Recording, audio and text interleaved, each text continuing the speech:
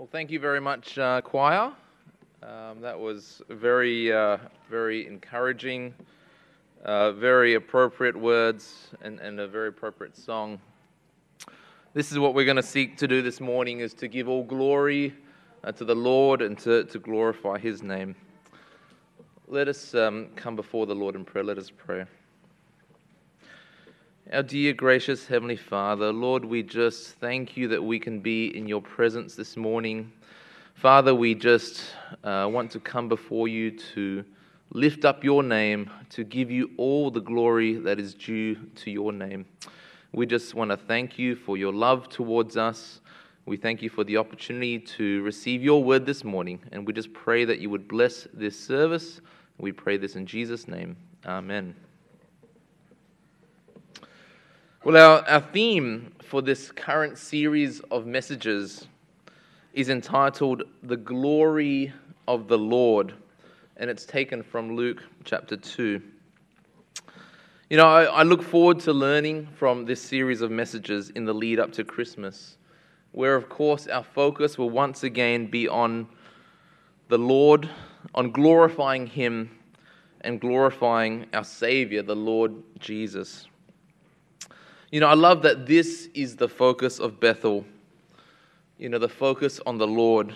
Because in life, I guess it could be said that our focus tends to be on something else. As we go through life, our focus tends to be on oneself. In fact, they often say that, you know, um, all you really need in life is to look after number one, which is yourself. In the working world, well, this is also true. You know, to get ahead, you really do need to master the art of self promotion. That is, promoting yourself. You know, it can be much harder to get ahead in life or in work if you don't know how to show others um, your value of your works. For some people, this kind of self promotion, it becomes all too natural to them. But for others, of course, it's, it's more difficult. And the higher you climb in the corporate world and the working world, you know, the more relevant this concept actually is. You need to prove yourself and you need to show other people just how valuable you are. But I like what it says, or what King David says in Psalm 29, and he takes a different approach. He says this He says, Give unto the Lord, O you mighty ones. Give unto the Lord glory and strength. Give unto the Lord the glory due to his name. Worship the Lord in the beauty of his holiness. You know, here is a king, the highest position in the land, and he is saying something different. You know, it, it would be all too natural for a king or a, a president or a prime minister to praise their own works. After all, that will help them in the election. But when it comes to King David, he says, Give unto the Lord glory due to his name. You know, to me, this is something that I look at and I'm encouraged to respond in the same way. You know, where God has been there, where God has delivered us, where God has equipped us and blessed us throughout life, let us turn to Him and give Him glory due to His name. You know, King David goes on further and he says, Worship the Lord in the beauty of His holiness. To me, this is special. You know, God's glory is indeed beautiful, um, it is indeed holy, and we are called to worship Him in it. Well, our first hymn this morning is a classic hymn, classic worship hymn and praise hymn entitled, O Worship the King. This morning, let us come before the Lord into, the, into his beautiful presence. Let us worship him. Let us ascribe to him greatness and the glory that is due to his name. Let us take up this hymn together. Hymn number ten, 10, O Worship the King. well, last week we learned from um, Exodus uh, chapter 16, where the people of Israel were led out of Egypt by the might and the power of God. And they came to a point, two months into their journey, where they then unleashed complaints against Moses and Aaron. You know, God had led them through the Red Sea and delivered them from the Egyptians. He had protected them, but the people were then faced with what was ahead of them the wilderness. And they complained in such a manner that they said they would have rather died in Egypt than face the difficulty ahead of them. You know, to me, this example in Exodus seems familiar in today's world. When we're faced with difficulties or our own version of a journey into the wilderness, uh, we can be frightened and scared. We can easily forget how God has delivered us over and over again throughout our lives. You know, even worse than being scared is we can often blame others for our situation. You know, I remember when I first um, started working, and there were all the fears about not getting a job. And I remember the, the stack of rejection letters that, uh, that I collected. Definitely not good for one's self esteem. No wonder mental health is so bad these days. But then I did get this job, right? And that was great. I was happy. But then it turned out to be the most miserable job of my life and two months in, I was more than happy to, to call it quits. But at that point, I, I remember feeling like a failure and facing, I suppose, the wilderness of being jobless. And also the thought of really just stuffing up that start of my career. You know, that time I, I did attribute blame to, to my employer. But when I look back and I look at it and reflect, I guess two things stand out. One is that my own judgment and wisdom was questionable in my job selection, and, and I acknowledge that.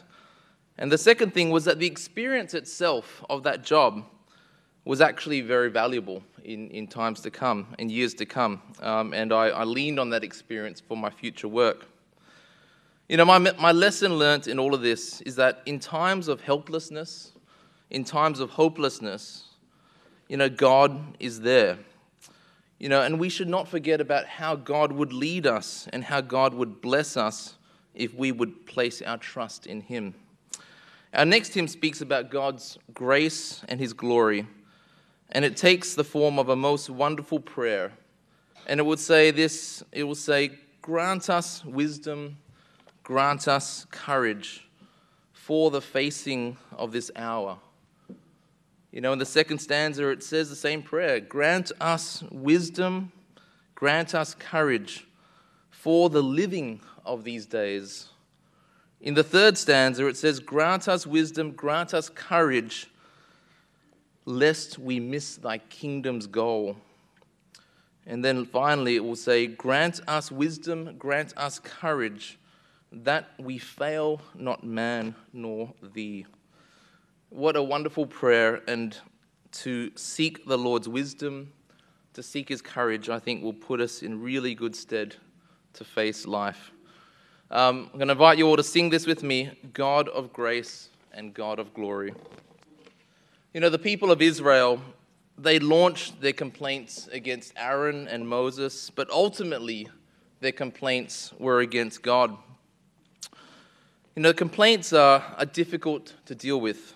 Um, at my old work, um, there was a whole division set up just to take complaints.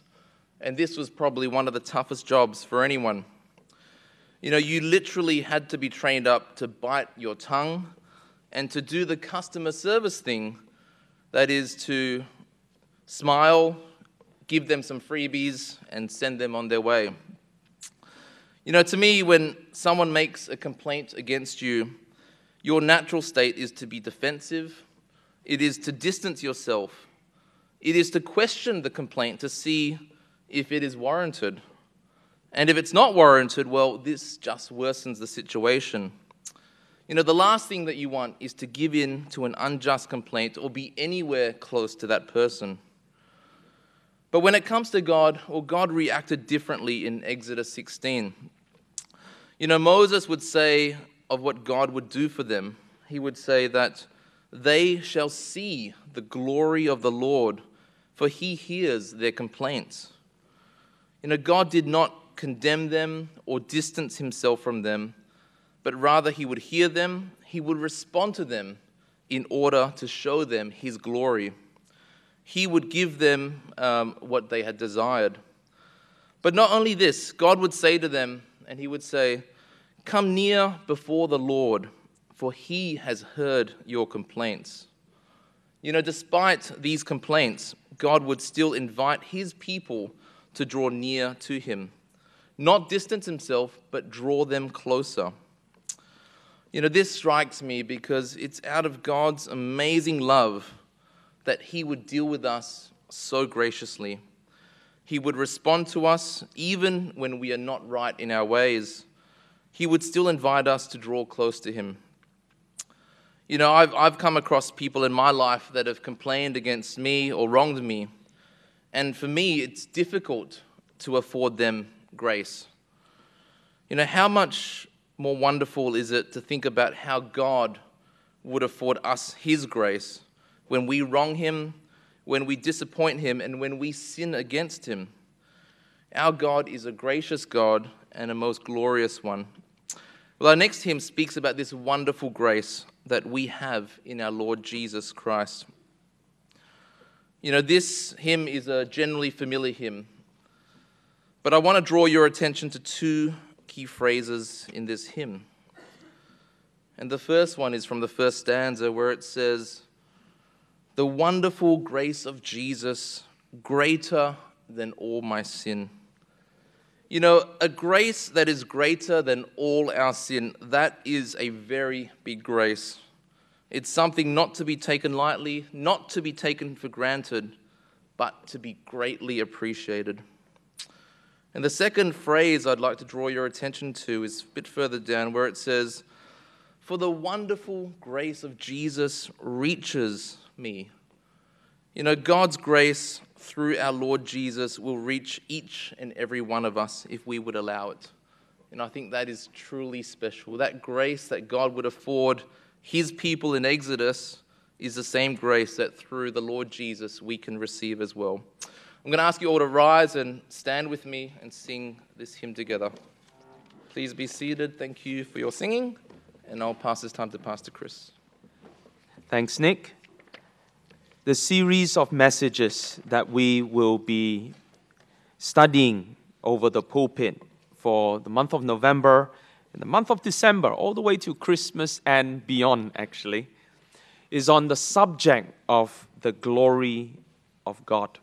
Okay, now where is this theme taken from? Okay, if you would turn with me firstly to the Gospel of Luke, and then we see in chapter 2 right?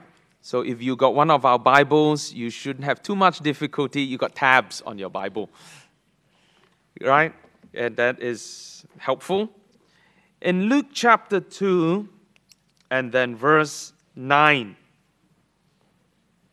right?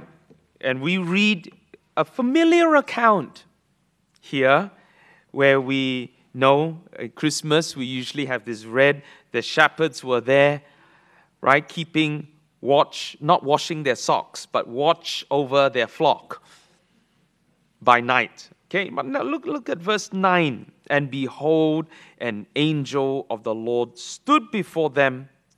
And then we read, and the glory of the Lord shone around them. And what was their reaction? They were greatly afraid.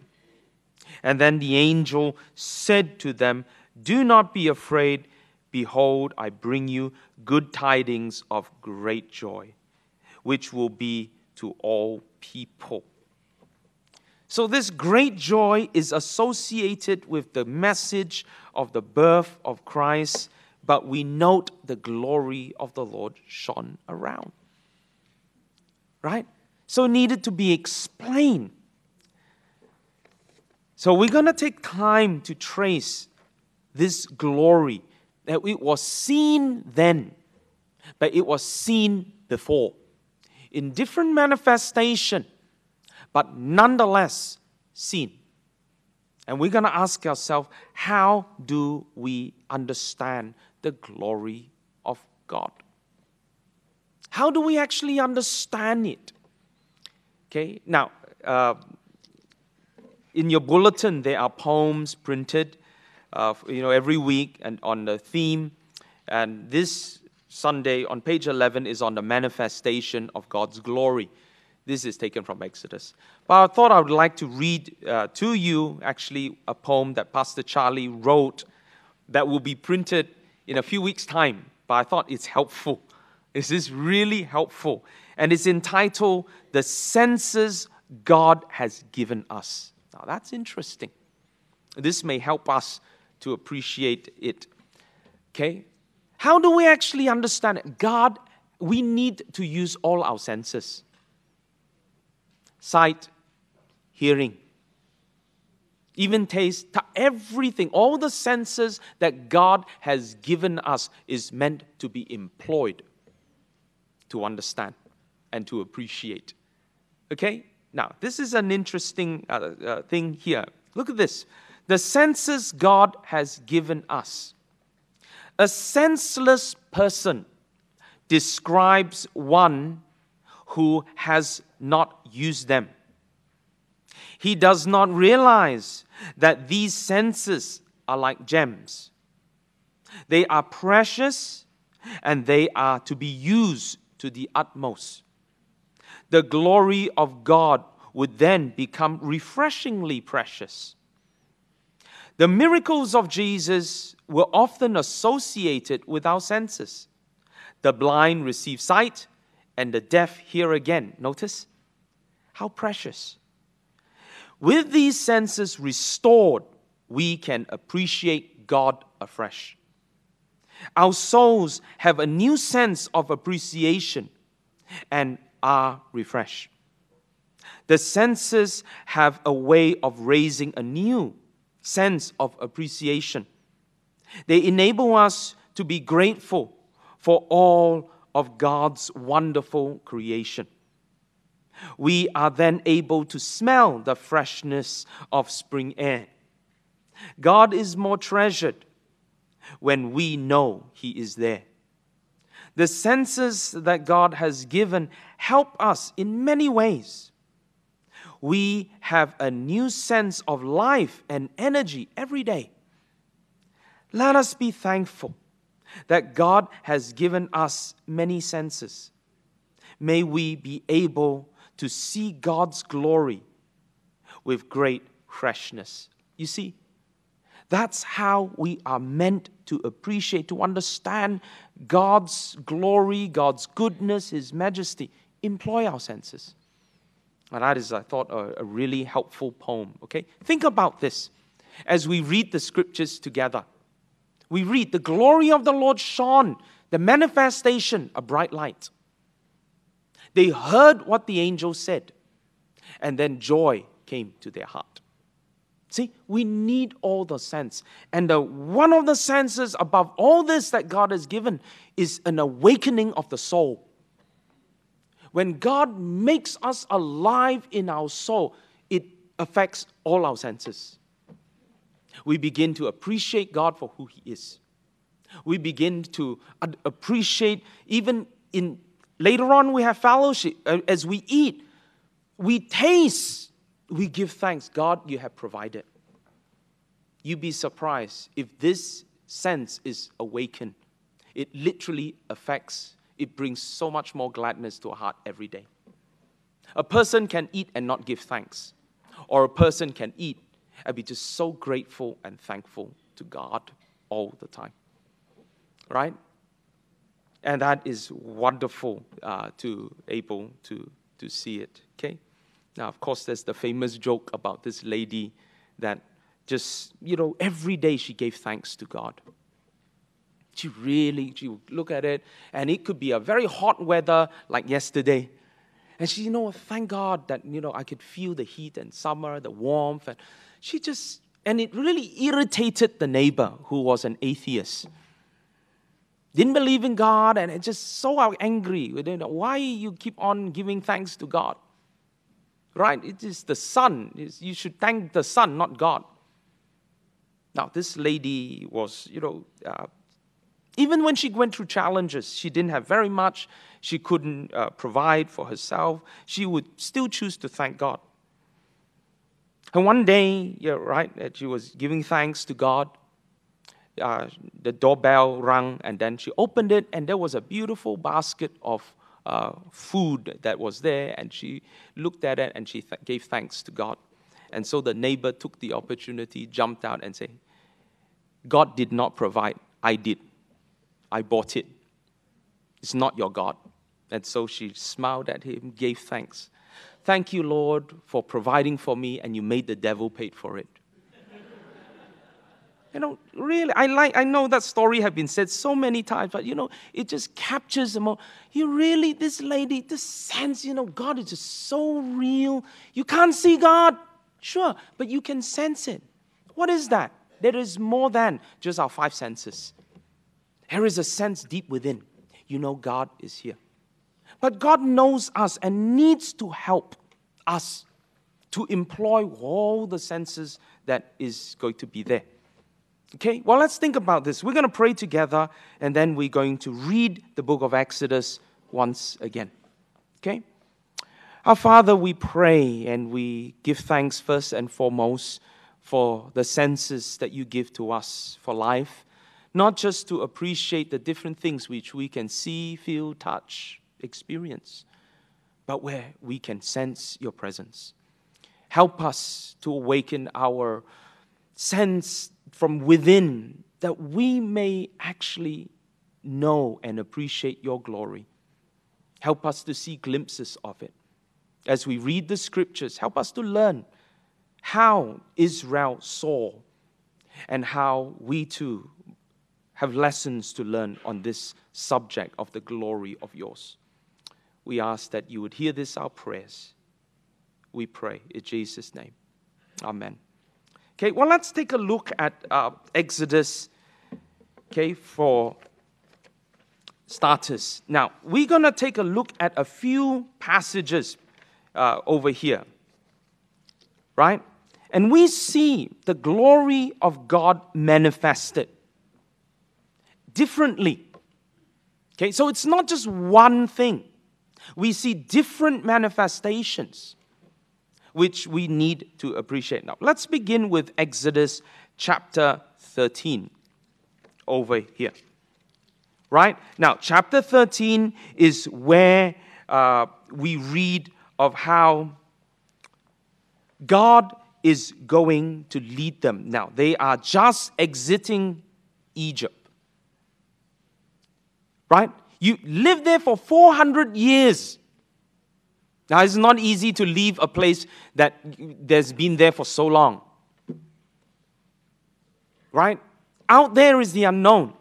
So, all those who are migrants, we can understand you leave your home, your ancestors have lived, and then you go to a new place. Not so easy. Lots of uncertainties. What will be your assurance?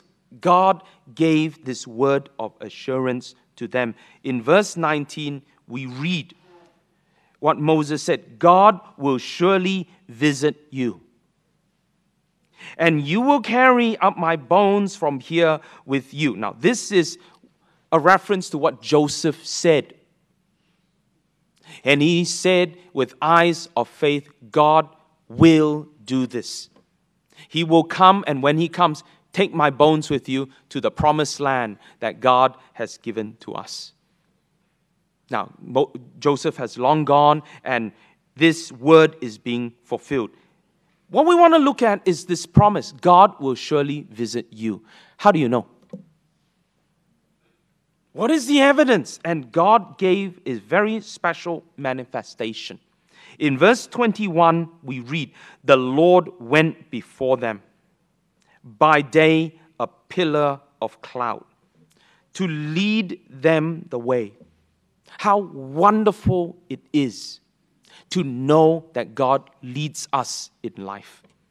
And this manifestation was that of a pillar of cloud by day, and by night, different.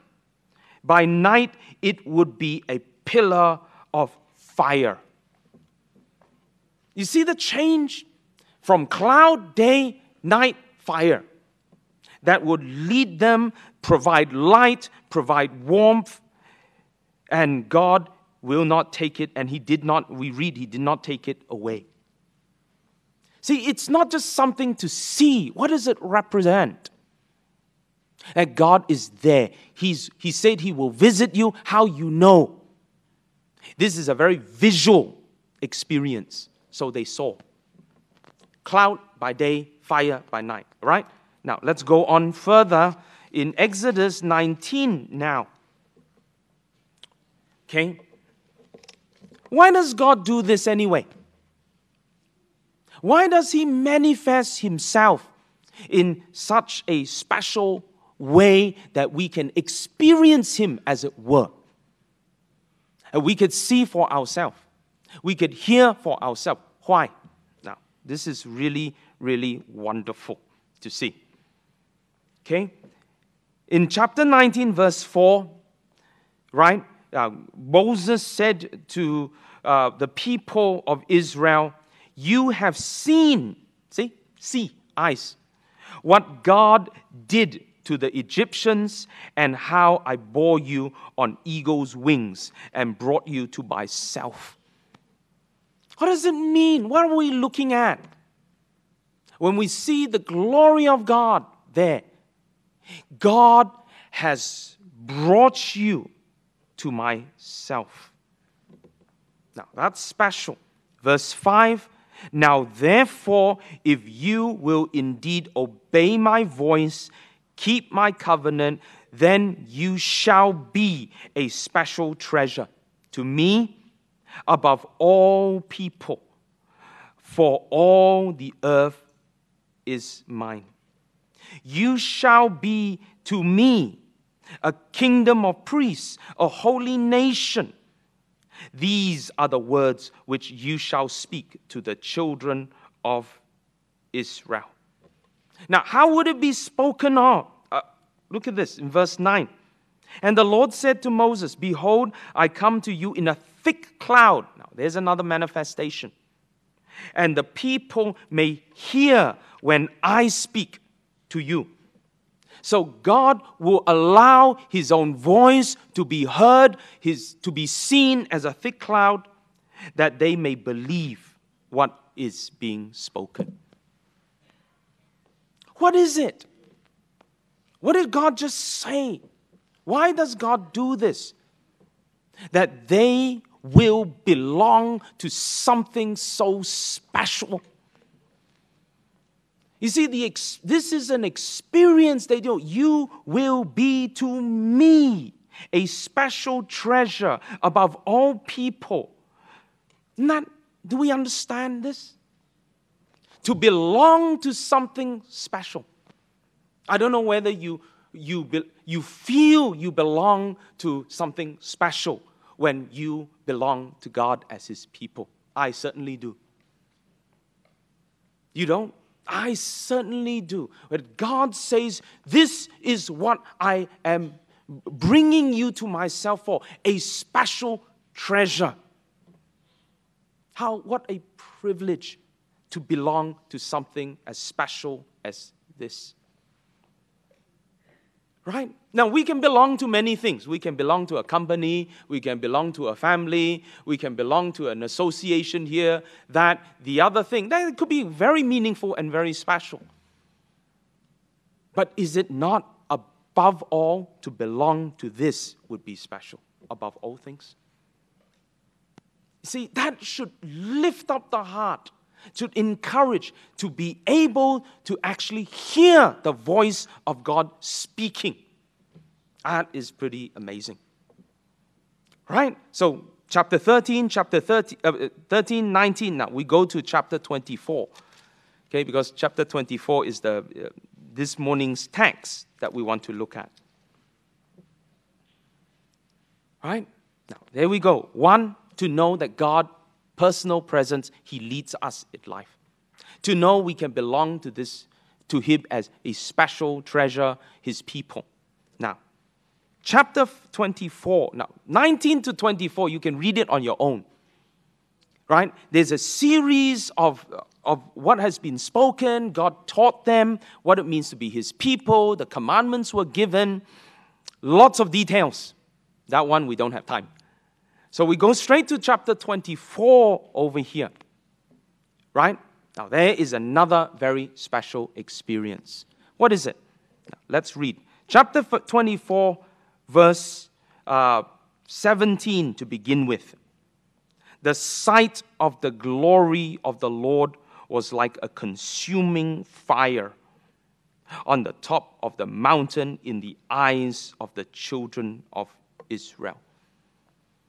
Now, if you read it just on its own like that, we really, frankly, don't know what it really means. They saw fire, consuming fire, which is to me just pretty frightening. Right?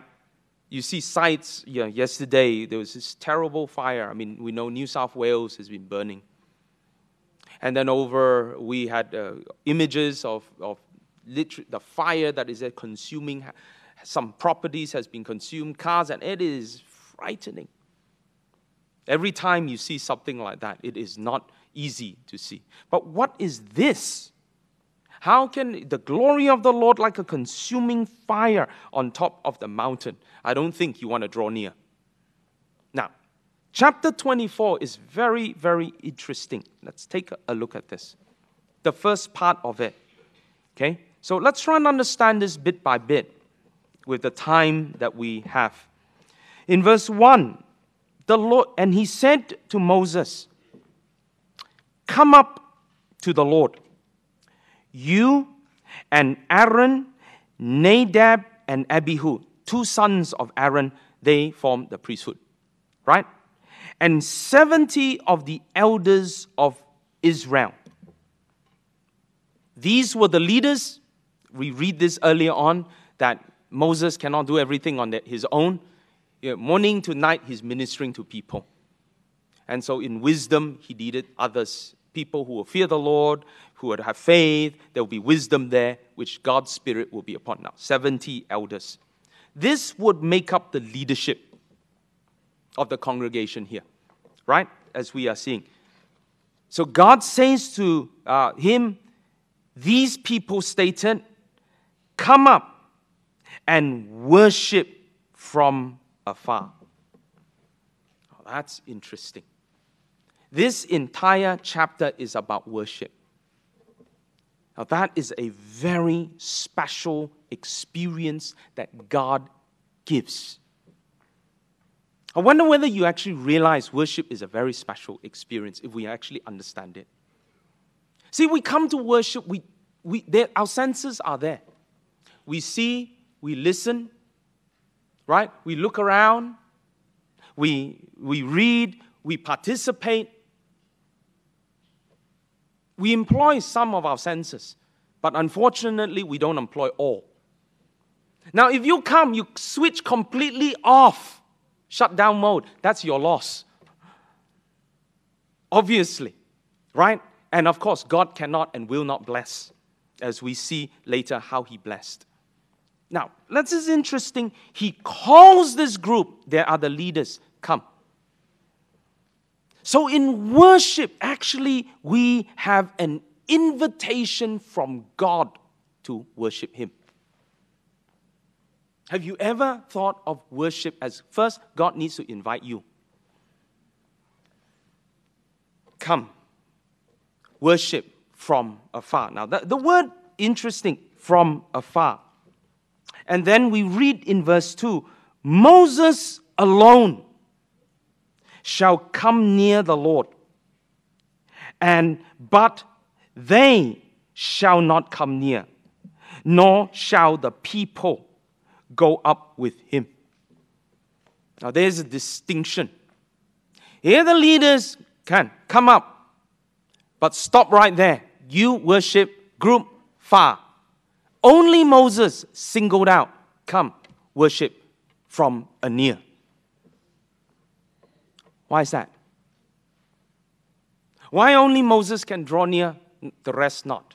Now, we are going to see how Moses understood worship. You see, when we don't understand worship, we can actually harm ourselves if we just come. That is, is something. So, best sometime from afar. You can observe. From afar, you can observe. So, people can come, you just watch from afar. Okay? Yeah, I observe, but from afar. But who draws near? Moses, you come near. Now, take a look at what Moses is like. That God would call him the way he does. Does he understand the important aspects of worship?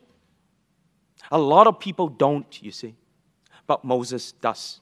Now, let's take a look at this very, very carefully. In verse 3, we read So Moses came as God invited him, told the people all the words of the Lord and all the judgments what is an important aspect of worship? What is the most important aspect of worship? Now, Moses was right. The word of the Lord was proclaimed. See, a lot of people look for the music. Well, the music is good, this is good, that is good. Not that they are bad. Thank God for the choir, thank God for the musician. Did you notice you had live music? I thought Joanna and um, uh, uh, Hui Min and Elijah played well. Just keep on doing that. That's beautiful. But is that the most important part of worship? Listen. Here, Moses understood the word of the Lord was spoken. Right? Now, let's all go on further. And then we read, all the people answered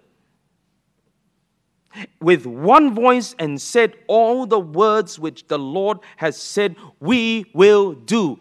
What is important? Not just the word of God declared, your response. God notes. This is an appropriate response to the word of God. Right? And then we go on further. This is the response. So some people don't don't, they're not listening, they're not obviously cannot respond. How? How come their life is not blessed is pretty obvious. Right? Now, this Moses teach them. Listen. And they responded.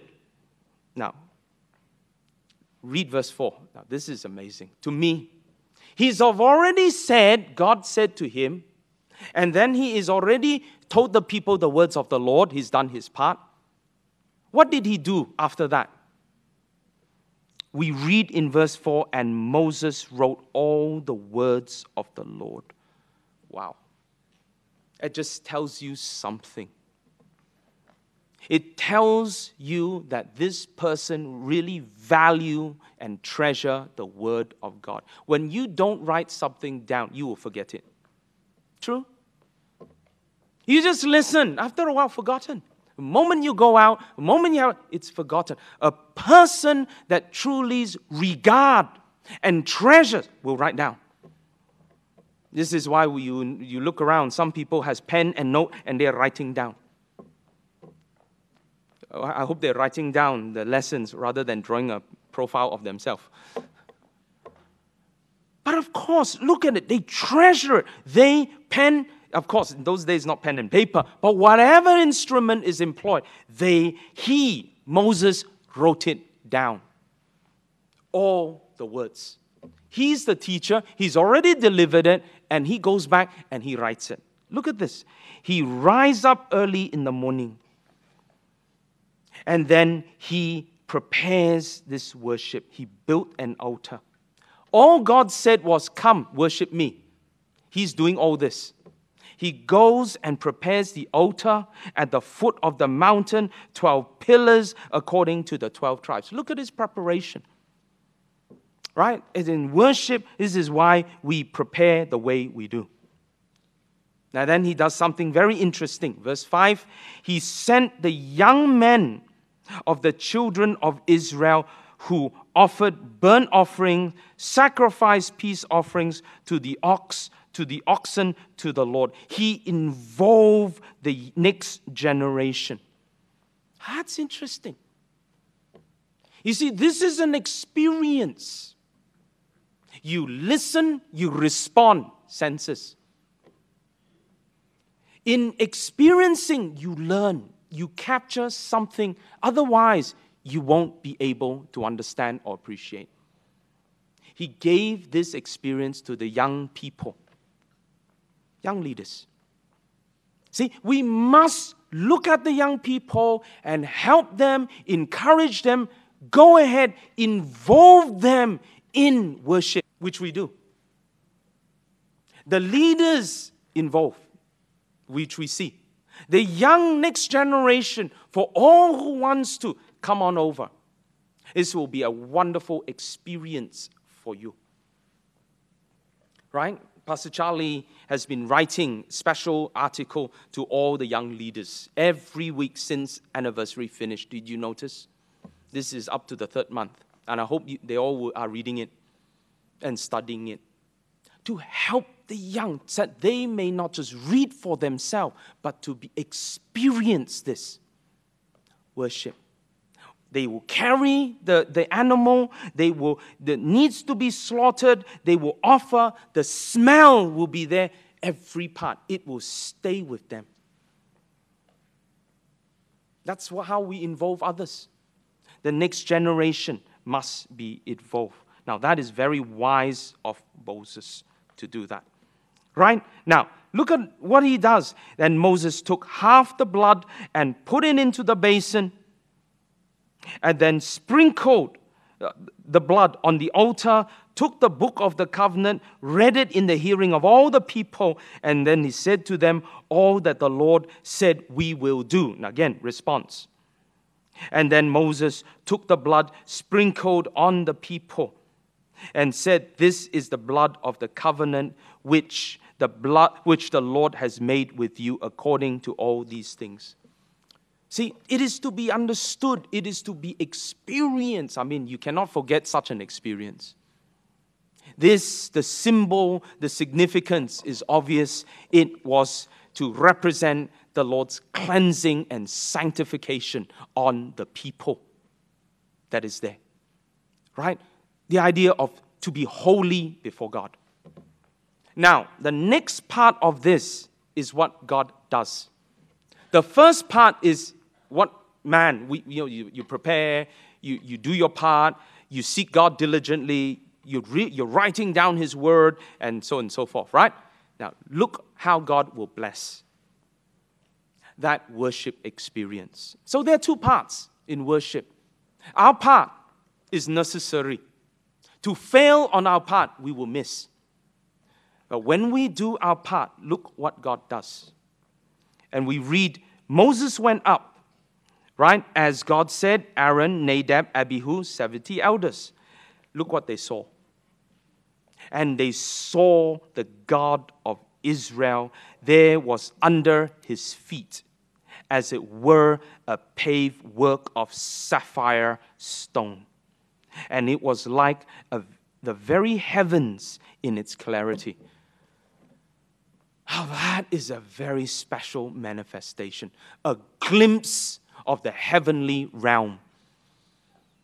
Uh, uh, with all honesty, I had to Google sapphire stone because I've never seen one in real life. What is sapphire stone? Have you ever seen a sapphire stone? Maybe you have, maybe you're wearing one. The price of a sapphire stone ranges from $5,000 a carat to 130,000. Just to let you know. A carat. Not not carrot as in rabbit, eat carrot. diamond worth. It's blue and it's brilliance. It's just no idea what did they see. This is a manifestation of the glory of God. It's as if you've seen the heavenly realm. It's hard to describe it, for such is experience of this kind. This God enabled them to see, not the rest. The rest afar. Here, draw near, see. Right now, look, look at these things here. and we read, the, But the nobles of the children of Israel, he did not lay his hands. In other words, you can be nobles, you can be prominent people before God. But if you're not a person that regard his word, you're not a person that regard holy things, his hand of blessing is not on you. You have to be a person that understand the holiness of God and you regard his word. Right? And then we read how God blessed them. We're very, very interesting. And they ate and they drank. Fellowship. Can we experience a glimpse of God's glory? In worship like this in and then it will enhance your fellowship. But miss the glory of god it's just food. We, we don't know what they ate. Maybe mountain i don't know what is up in the mountain? What did they drink? Not mentioned. Notice not mentioned. The focus is not the food. The focus on what they saw and it's not the food the brilliance, the glory of, right? And is only at the feet of God. I, it's so amazing and hard to imagine this. And God said to Moses, verse 12, Come up to me on the mountain and be there. Just Moses. The rest of the leaders can have this wonderful experience, this wonderful fellowship, but Moses was singled out. You come up to me, I will give you. Now that's special. Tablets of stone, the law and the commandments which I have written, and you may teach them. God will give him something others cannot even dream to touch. God writes the very words and he will give it to him. He can actually touch the word of God. And only a person who regards the Word of God is worthy. If you have no regard, forget about it. You better not observe from afar. Right? Leaders who understand it, they must catch a glimpse of God's glory, that their heart will be uplifted. Young people, involve them, that they may also have this experience. Moses was given a very special glimpse, an experience of the glory of God. Now, that is absolutely amazing as we read over here, right? And then we read how Moses gave instructions for them. They had to wait there. Verse 15 Moses went up into the mountain, a cloud covered the mountain. Now, there is cloud Okay? To them is fire. You are not going to go into the fire unless you are fireproof. To Moses, not fire. And majestic cloud. He goes into the cloud and he is there 40 days, 40 nights. Even 40 days, 40 nights, not long enough to be in such fellowship experience with God. You see, why this, what, how do we understand this? Worship is something that we need to understand, to experience for ourselves. And God needs to help the people to understand it bit by bit. How comes more, some people have more of the experience of worship than others? By our response by our response. What do you want to see? Will you see fire? Some stay away. Better fear the Lord. Right? They have seen it before and they trembled. Some they can draw near. To them is a cloud. To them is a beautiful glimpse. It is uplifting. It is wonderful. They draw that is something we need to think about. Let's take time to examine how we understand the glory of God. Right? What is our challenge? You know what our challenge is? On all levels. One, for all who are leaders. All who are serving, all who are leaders, we have a special privilege. Will we not prepare ourselves? Will we not behold the glory of God? Worship for us is an uplifting experience to all who lead in worship. What an opportunity. To all who are young people, you're the next generation. I'm not talking kids, because kids cannot carry those things. These would be young adults. You have an opportunity to experience being part of worship, being part of service. Would you not make the best out of your opportunity to see the glory of God? Right? To all who are God's people, we belong to something special. We belong to Him as His people. Will we learn to draw near? We will learn to regard His word better? Will we learn to treasure the things that are holy? And perhaps God will say, Come, draw near. Let me show you something. Let me give you something that will just really enhance your life and your ministry. This is what I value. And so the challenge is how do we hear God's word? Cultivate spiritual sense. Don't just hear and see the music and all around. How do you cultivate this? God wants us to, as it were, hear Him speak to you. Have you learned to listen to Him? Have we learned to respond appropriately to God? We hear, we don't do. We hear, we don't take heed. It's not just hearing. They were learning baby steps. Whatever you say, Lord, we will do. Okay, that's step one. But Moses has gone beyond step one. They are just in step one, but they need to begin with step one. You know what? Try. Try to take heed to the word of God. Try to obey the word of God and watch what, how God will draw you dear. And thirdly, worship must be with tremendous reverence. Can we see the glory of God? If you can, if you have caught a glimpse, you will just stand in awe of the Lord. They're in a mountain, they're not in a building. What is there to see? They obviously saw something that God gave special. You can be in a beautiful building like such and see nothing. We can have nice fellowship later on, and yet, hmm, it's just another Sunday. It's just another. See, that's then we would have missed it. Let God put His hand upon you and bless you. Let Him open your eyes. Let Him open your ears. Let Him restore your senses all over again, and see the reality of your God, who will lead you, who will guide you, who will bless you.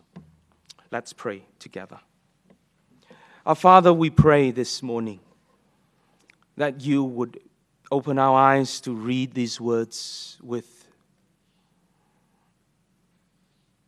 not just understanding, but with a desire that we must respond.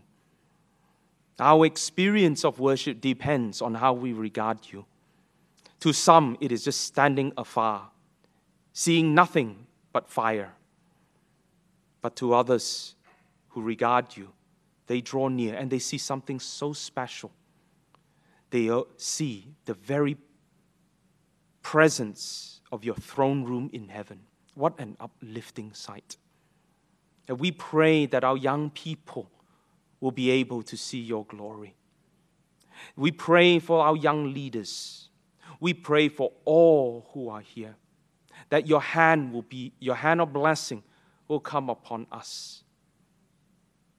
Lord, open all our senses that we may behold your glory and find great joy in knowing you and in belonging to you as your people. We ask that you would hear this, our prayer, and bless us. as we give an offering, Lord, receive it. We ask that you would receive and encourage us and grant us that joy. Bless every cheerful giver, we pray. In Jesus' name. Amen. I'm looking forward to this week. Pastor Charlie will be coming over Tuesday to Thursday. He will be teaching on the subject of the glory of God. There is so much to learn. The only thing is our limitation is that clock. But for some, it's very happy. right? Okay, time's up. But you know what? And you, 40 days, 40 nights for Moses is not enough. He can spend there 40 days, 40 night, nights, listening to what God has said, beholding his, listening to his voice. To those who are 40 seconds is too long. But to those who really appreciate God, 40 days, 40 nights isn't a very long time at all. He can forego the fellowship and, and spend time with God up in the mountain. Now, that is a very special experience that only Moses was given at that time. Right? Well, let us, let us tr- really treasure this and learn from this how our hearts can be uplifted when we come to God, when we can understand this, and where we can regard and honor God as He should be. Okay? Well, we're going to sing one last hymn together. And this, we must never lose sight of how we are God's people. And the challenge is to ask God to give us a renewed vision of this. Sometimes we can lose sight. We are so busy in the world, we can lose sight. We are so caught up with ourselves, with our job, with our family, with everything in life weighed down, we can lose sight. This is a prayer. Almighty Father, give us a vision, sight, not just physical, to be able to catch a glimpse of the world we live in, of a dying world that needs your love and care. Can we not see the need, the yearning for a Savior? The world cannot see Jesus physical, obviously. None of us can. But can they not see God's people? That we will be God's people in this place, live His goodness. We've tasted the goodness of God, have we not? We've experienced His salvation, have we not? Then can we not share it, proclaim it through His Son? to everyone. Let the church regain its vision, ours and more. Let's ask the Lord to hear this, our prayer, and bless. Let's sing this together. God's people, to be God's people. Okay, let's rise as we sing together. Let's ask that the Lord will bless us to all who will hear his word, who will respond appropriately to it with faith and obedience. May this blessing be yours. And now may this living God, who is gloriously manifested in the scriptures, open our senses that we may behold the glory of God. May the grace of the Lord Jesus Christ sanctify us May the blood that he shed cleanse us from our sins that hinders us to see him spiritually. May the grace be ours that we may experience the reality of God in our heart, in our life. May the Spirit of God dwell with us, enabling us to worship, to fellowship, to enjoy the very presence of the living God. We ask that these blessings will be ours. In Jesus' name we pray. Amen.